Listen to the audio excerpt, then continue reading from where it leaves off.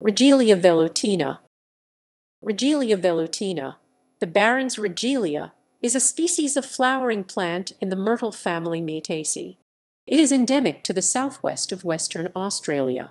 It is a large shrub with greyish-green, velvety leaves and large clusters of brilliant red to orange flowers on the ends of its branches in spring and summer. Description: Regelia velutina is a large shrub sometimes a small tree growing to a height of 6 and 20 ft, with long straight stems. Its leaves, which are up to 13 mm 0.51 in long are arranged in alternating pairs decussate so that they make four rows along the stems.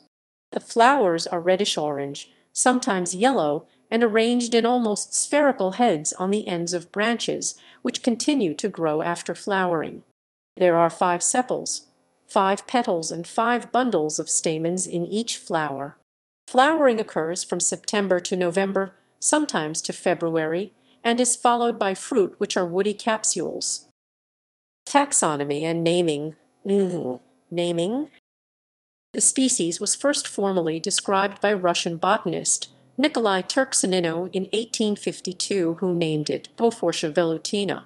In 1964 the Australian botanist Charles Austin Gardner transferred it to the genus Regelia. The specific epithet is derived from the New Latin velutinus, meaning velvety.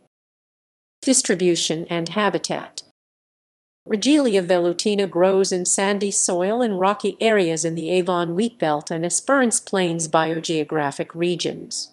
It is listed as not threatened by the Government of Western Australia Department of Parks and Wildlife. Use in horticulture. Although it has attractive foliage and flowers, R. velutina is not common in cultivation. It does not grow well in areas of high summer rainfall and humidity. In drier climates it prefers well-drained soils.